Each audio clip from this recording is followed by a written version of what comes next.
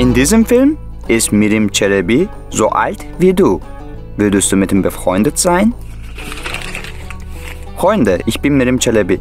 Ich bin einer der wichtigsten Gelehrten der Osmanen in den Bereichen Physik, Mathematik und Astronomie.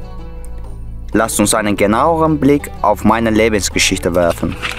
Obwohl mein Geburtsdatum nicht sicher ist, wird es in einigen Quellen als 1450 erwähnt. Ich wurde in Istanbul geboren. Mein richtiger Name ist Mahmud.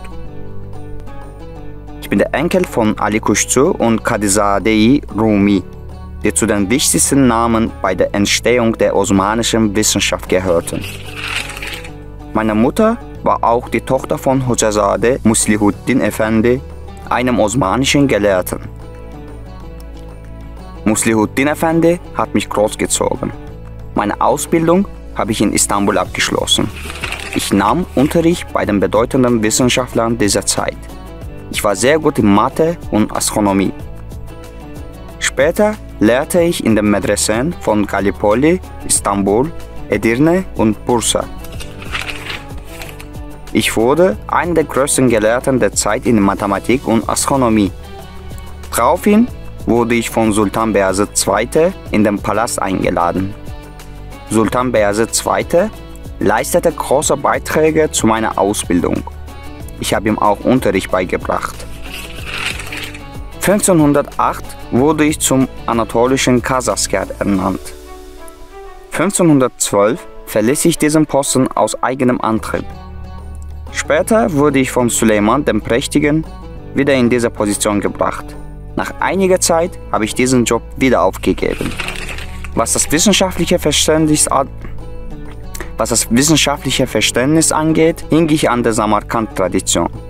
Samarkand war das Wissenschaftszentrum der islamischen Welt und der Mathematik wurde hier große Bedeutung beigemessen. Auch meine Großeltern sind mit diesem Verständnis aufgewachsen.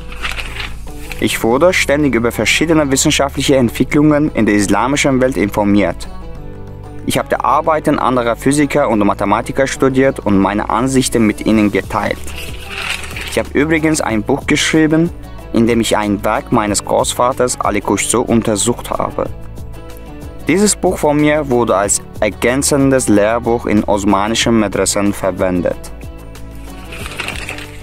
In meiner wissenschaftlichen Arbeit habe ich in in meiner wissenschaftlichen Arbeit habe ich großen Wert auf Beobachtung gelegt. Ich habe große Anstrengungen unternommen, um die Beobachtungsmethode auf dem Gebiet der Astronomie zu entwickeln und zu verbreiten. Ich habe zu diesem Thema ein Buch namens El Makasid geschrieben. Ein weiteres Thema, das mich neben der Astronomie interessierte, war die Optik. Eine Arbeit, die ich über die Entstehung von Regenbogen und Haloringen geschrieben habe, enthält auch wichtige Informationen zur Optik. Ich habe die Bücher von Ibn Sina und Ibn al-Haytham gelesen. Dadurch habe ich mir eine wichtige Wissenbasis eingeeignet.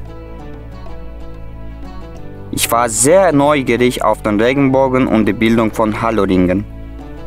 Deshalb habe ich angefangen, mich mit diesem Thema zu beschäftigen. Ich kannte Mathematik sehr gut. Die Arbeit mit Zahlen hat mir sehr viel Spaß gemacht. Dank meiner mathematischen Kenntnisse habe ich einige der Probleme gelöst, die andere Wissenschaftler nicht lösen konnten. Ich hatte auch Kenntnisse in Literatur und Geschichte. Als wissenschaftliches Verständnis folgte ich dem Weg meiner Großväter Kadezade Rumi und Ali Kushtu. Liebe Kinder, ich hoffe, dass meine Lebensgeschichte euer Interesse geweckt hat. Mein Rat an euch, lernt ein Thema sehr gut, aber gebt euch nicht damit zufrieden und erwerbt Kenntnisse zu verschiedenen Themen. So könnt ihr die Dinge aus einer anderen Perspektive sehen. Auf diese Weise könnt ihr vielleicht auch große wissenschaftliche Erfolge erzielen.